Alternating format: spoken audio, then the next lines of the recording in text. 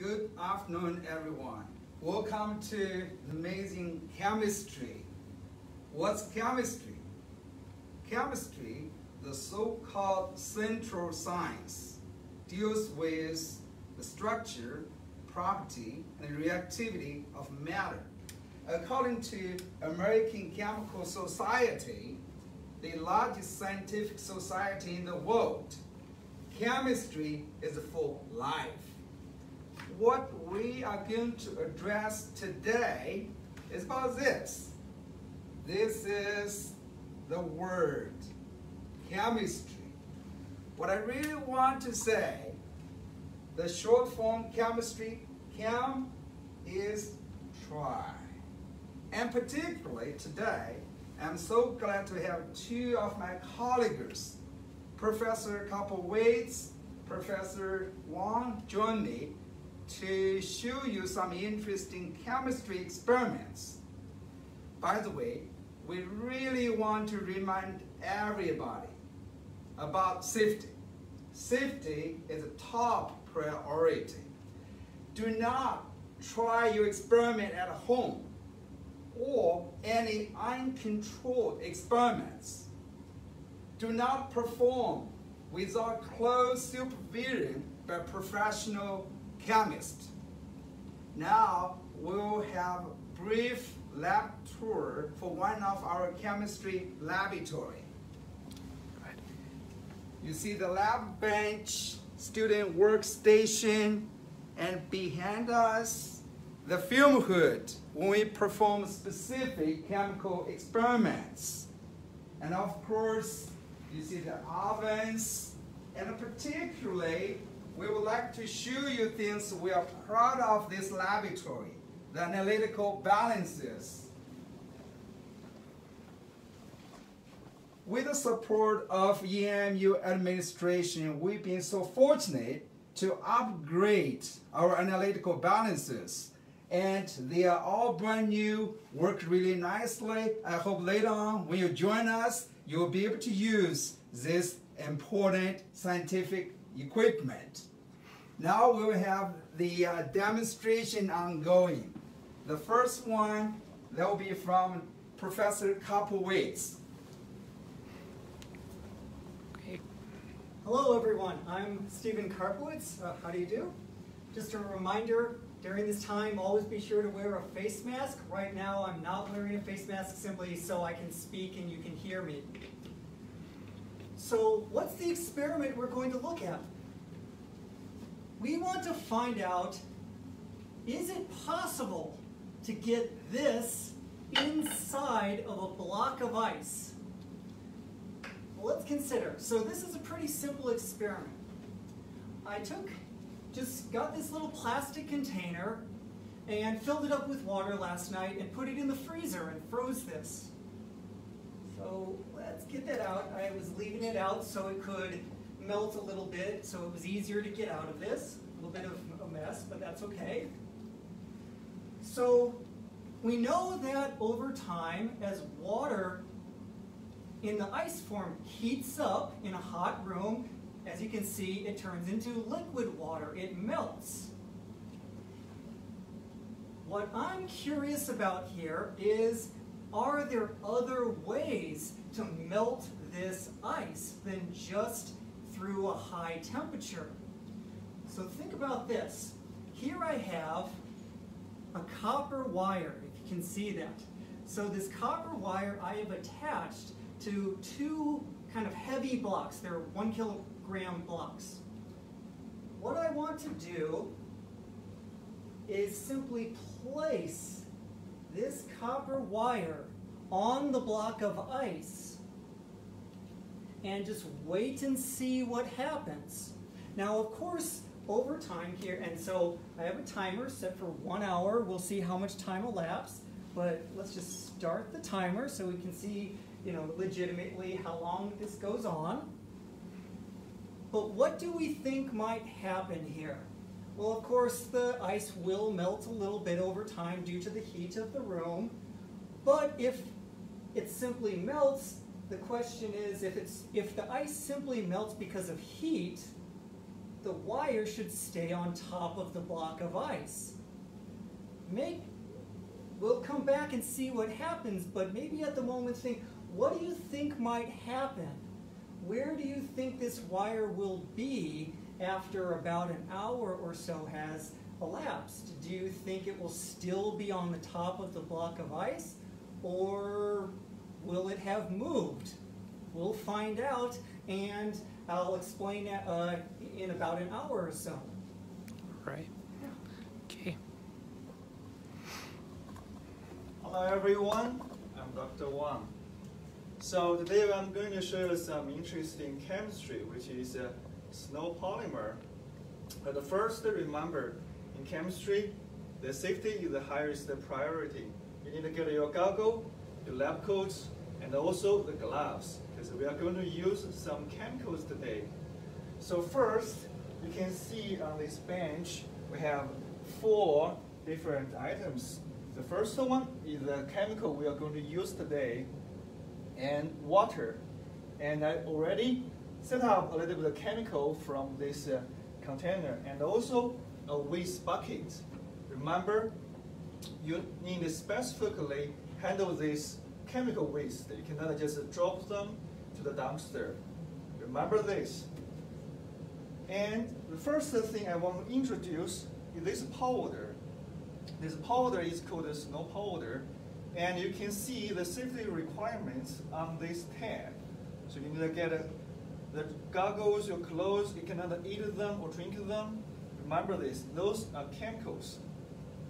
And what will happen if I pour a little bit of this into the beaker? So they are the same thing.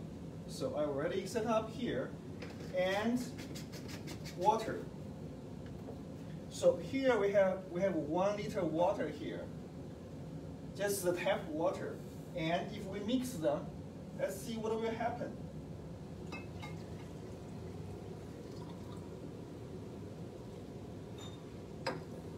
So look at this. Look at look at the powder. Look at the powder happening. The powder likes expanding, and it's really like a snow. It's growing up. It's growing up larger and larger. You can touch it. It's very cold, like a snow. If you take a close look at it, right? It's artificial snow. And uh, after five minutes, you will see the whole snow will get out of this beaker. Let's just wait a little bit to see the growing here. You can see that, right? If you take a close look at it, it's growing up, growing out from the beaker.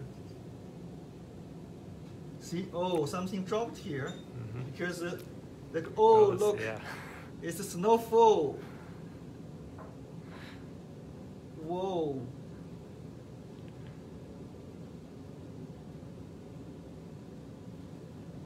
Look at this. Look at those snows. Oh.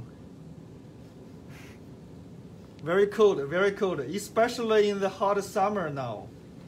If you want to stay cold, get some snow in the summer, right? And also we can dump them out.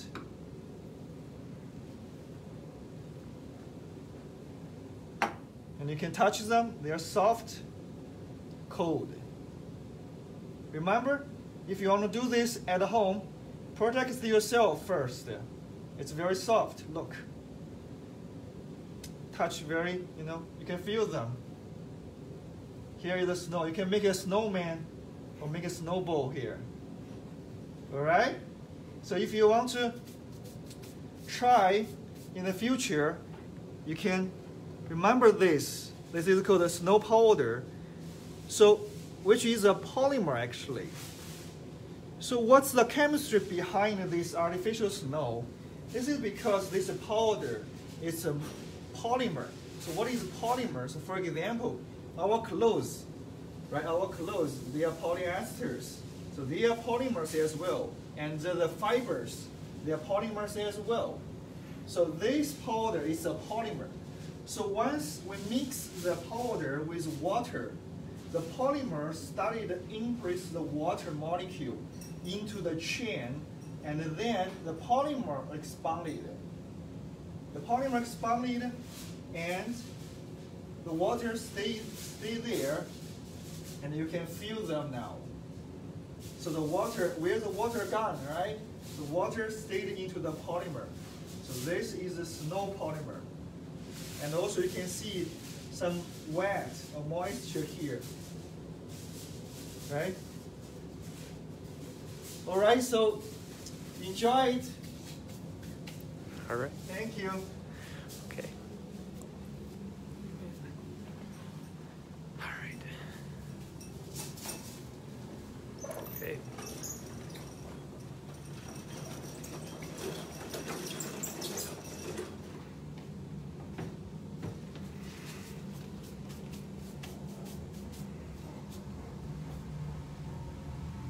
Okay, everyone, the very last demonstration was called carbon snake.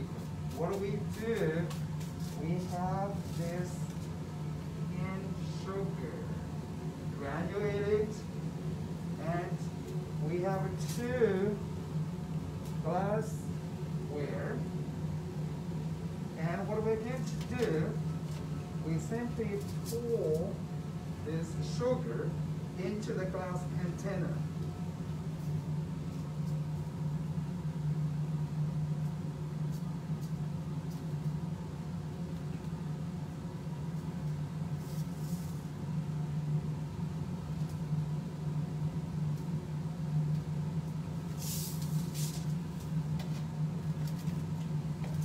Do next? We're going to add a liquid, very corrosive, very concentrated, sulfuric acid. And we will pour this liquid into this container with sugar, then we'll stir them up. Watch what will happen.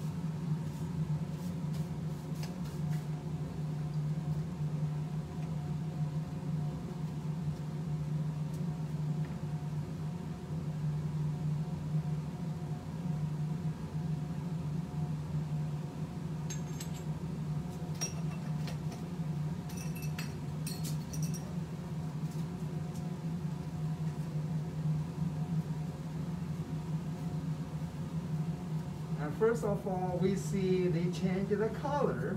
We lose the bright white. Now it seems like we get something black.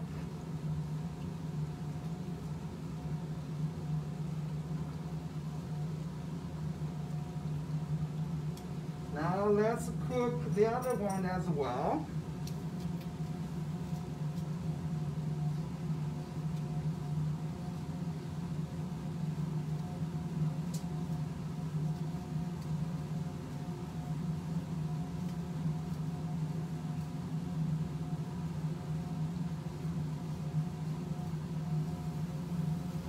Seems like we got some gas formation and black stuff is rising.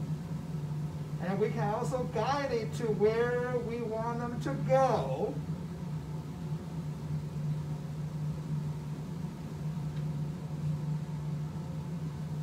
The other one start as well.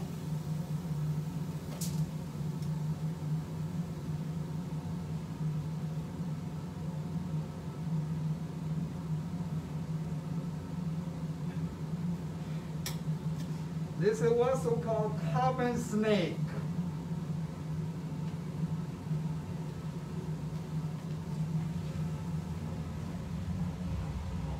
And if you notice closely, what we have here? We have two glassware with different diameters. Since they already raise up, what I'm going to do, we'll transfer them into the fume hood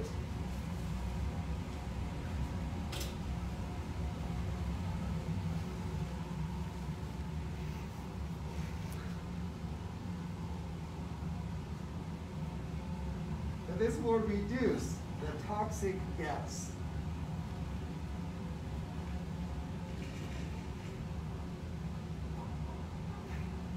This is about carbon snake. All right. Okay.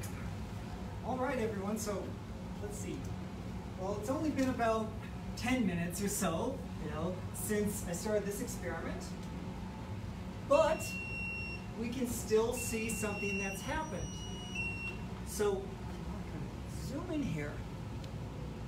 What has that copper wire done? Well, on the top right here, it's still kind of there, uh, sitting on the top. But what about right at the corners? Actually, the photographer, how about he put his finger and just, is it smooth? Yeah. Yeah, you can you can feel the wires going down into it. He can't feel the wire. The wire is actually inside of the ice. It's a smooth surface of ice right there. How do, is that possible? So we started out with the idea, as I mentioned, we know that the heat of the room, the high temperature in the air can melt the ice. Well, somehow this copper wire got inside of the ice. Was the copper wire really hot? Well, no, it's the same temperature as the room. In fact, it's really cold.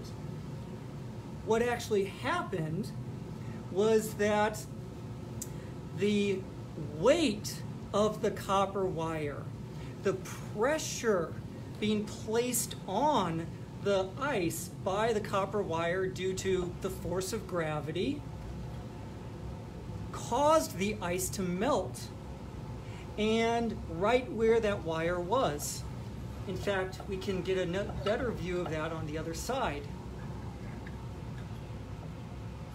Look at that. Look at how, if I pull this out, look at how that melted a line into the ice. And actually, if I even try to pull the wire out, oh, here it goes. it worked you, for a while, yeah. but you could see it was actually buried inside of the ice because I was able to lift it up for at least a moment. If we had given it more time than just 10 minutes, the wire would have gone even deeper in and I would have been able to lift that for quite a long time.